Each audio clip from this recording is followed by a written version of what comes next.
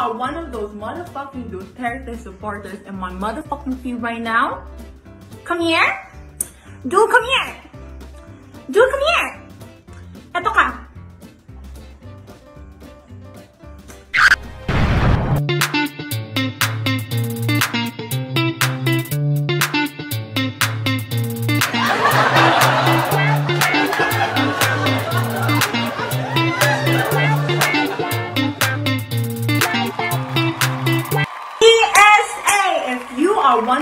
Motherfucking Duterte supporters in my motherfucking feed right now, come here.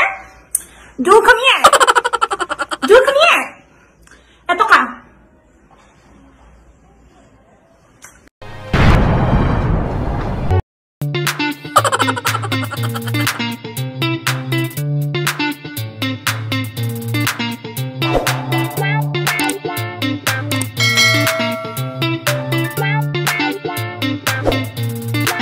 President Lenny, dati natin never ako na nagbanggit about. But right now, sumusuporta na ako sa kanila. All the way, sumusuporta na ako sa kanila. Kay kung sino yung mga sumusuporta ngayon kay Vice President Lenny Robredo, let's get out there and to be in full force, labanan natin itong putang inang gobyerno ito.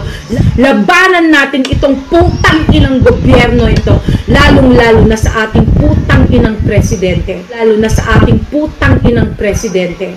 Before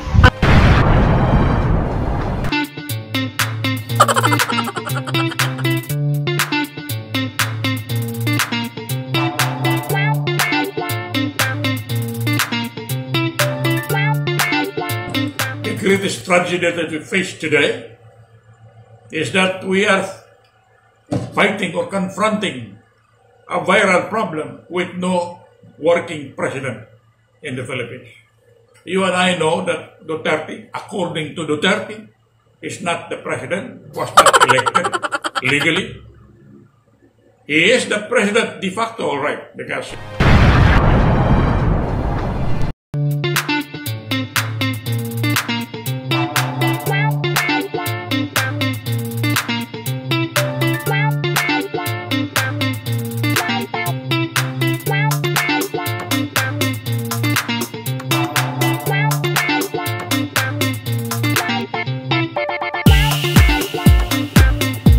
So, nasa ilalim tayo ng isang public health emergency, wala na raw karapatan ang mga tao. Hindi po totoo yon.